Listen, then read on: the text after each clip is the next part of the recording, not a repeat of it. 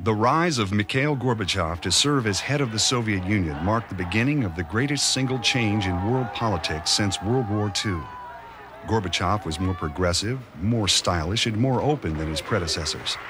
He promulgated policies of glasnost, or openness, and of perestroika, economic and political restructuring.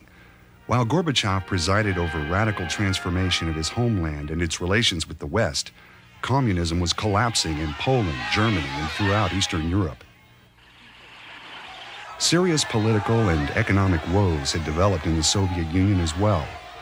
And in August 1991, the world held its breath during a three day military coup in which Gorbachev and his family were held captive. Although released unharmed, Gorbachev was never able to regain significant political power.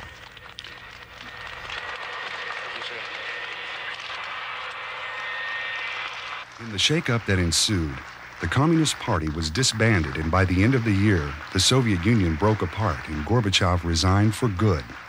Boris Yeltsin was elected president and began struggles of his own, converting Russia from communism to capitalism.